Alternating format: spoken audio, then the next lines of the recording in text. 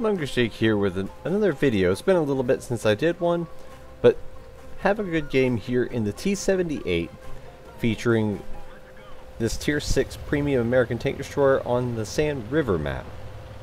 Now, as it looks like I'm first starting out, going to a very typical spot. But one of the key aspects that actually made this game possible was that I do not remain here. Because if you watch the deployment of your team early on, and this is what I do pretty much every game for the first 30 seconds to a minute, I watch the deployment of the team. And if you look here, the team is spreading out both to the north and to the south, with way too many going north, except for the fact that none of them have any true staying power. And by staying power, you look for vehicles that have maybe high alpha, good armor, maybe they can work the terrain well. But we have two STRV-74s, which very good tier 6 medium, with great gun depression, but it has no armor. And it needs it has to rely on terrain, which there is very good terrain to the north, but they didn't go to the, the actual north north. They went to the lower part. So I make a move here. I keep moving up. We have nobody in the middle. Our object 244, which is basically roughly, for all intents and purposes, a uh, tier 6 heavy with no armor, not much to speak of really, and your typical 85 millimeter gun. Basically think KV-85. Again, decently mobile, not a whole lot of armor, no gun depression of any kind really. So he's going to struggle up there. And we have a KV-1 still sitting at base. Now, our light tank in the south is pushing up too far. And while he's going to be he's going to be uh, shielded by sheer luck, he should be dead. And then he's only supported by a T-67 and a Cromwell B down there. And we have our typical tank destroyers who stayed at base. And I don't fault anybody for that. I would rather have teammates alive rather than dead. But the KV-1, of course, is not going to be useful in the position he's taking up. He'll get spotted there, whereas the Jackson won't. Uh, the Jackson was in roughly around about the same position I went to initially, which is a pretty safe, conservative position. So I keep move, moving myself up further and further. Because the T-78 is quick. It's also small. As you can see, I'm firing through this bush that's ahead of me about 20, 30 meters. That's providing me with perfect concealment. And then I can back in and out to try to relocate the TOG. Which, I mean, of course, that thing is just a giant ship on land, so easy to find. That shot nicked the very tip top of the sand dune. But I'm actually redetecting him without getting respotted because I have enough camouflage value and concealment that he won't detect me unless I fire. As you see, I got the assistance. Now things are going bad, as I expected. So this position here is the one that I was referring to earlier. This is a very, very good position for somebody who is small and stealthy enough to make it work. And of course T-78 is those things. Basically being a Chaffee with a, a Jackson turret for you know lack of a better better uh, way of explaining it because in reality that's what it is. Chaffee hull, Jackson turret, and kind of the Jackson gun. It's a little bit different variant, but close enough. Now, this position here, I have enough concealment from this bush that I can fire at will. Plus, I also do run camouflage net on my T-78 even though a lot of people think that you shouldn't be running camouflage nets anymore, but there is definitely a time and place. In a stationary tank destroyer, trying to stay stealthed up, camouflage net is one of the better pieces of equipment for that. And it does allow me to to stay hidden until firing, quite often in this game. And that was a very unlucky combination of RNG there. My shot went high and to the left and hit a weird angle on that T-3485. But now our south has lost, as expected, but this position here, up along the ridgeline, allows you to have a crossfire because there is a point right here as the P-43 BIS is showing where they have to go high in order to continue running eastward. And T-3485 is going to replicate it here just a second and up and over and I get to track him.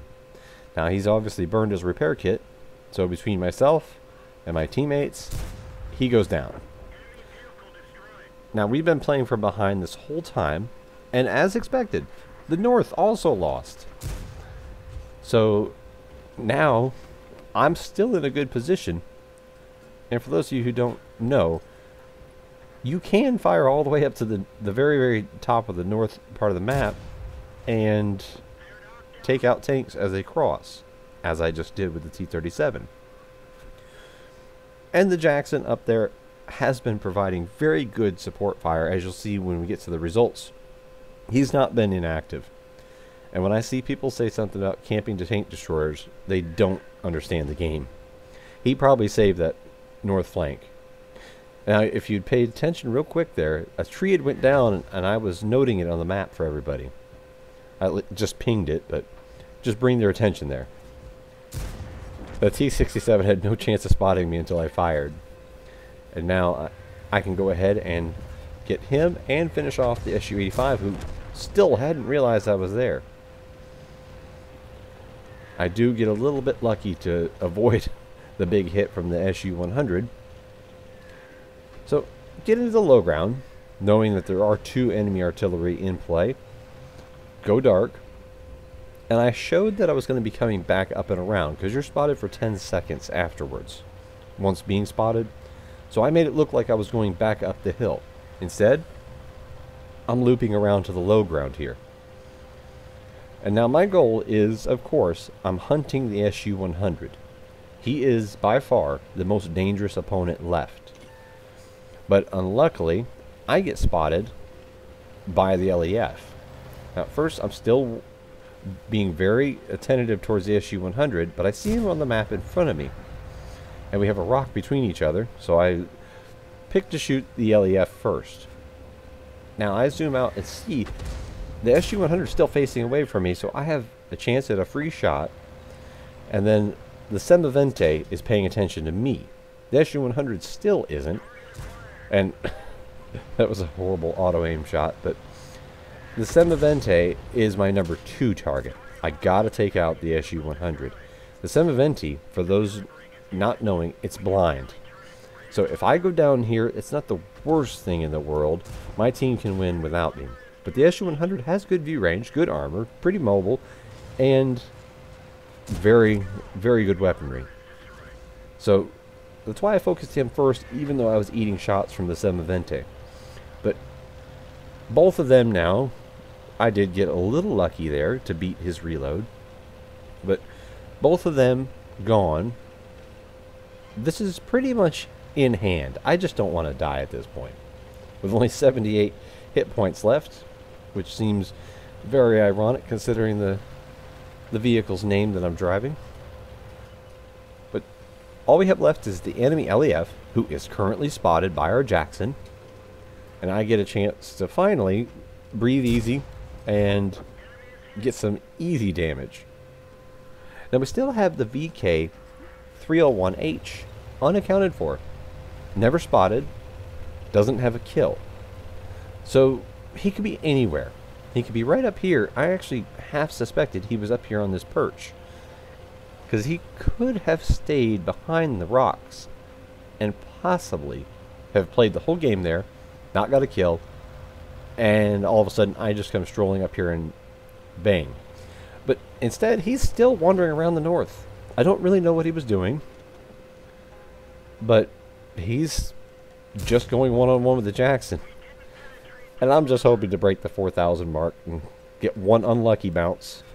But I do get to finish him off. Which pushed me just over 4,000 damage with no premium ammo used. And then we lose our SG-122, who was not even present for the game.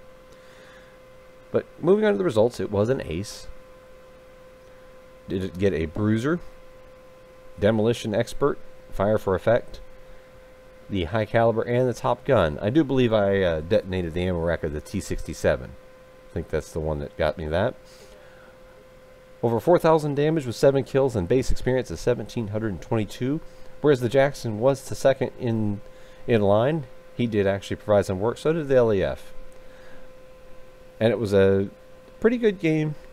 Made quite a few credits because no premium ammo use. Thanks for watching. Hope you enjoyed it.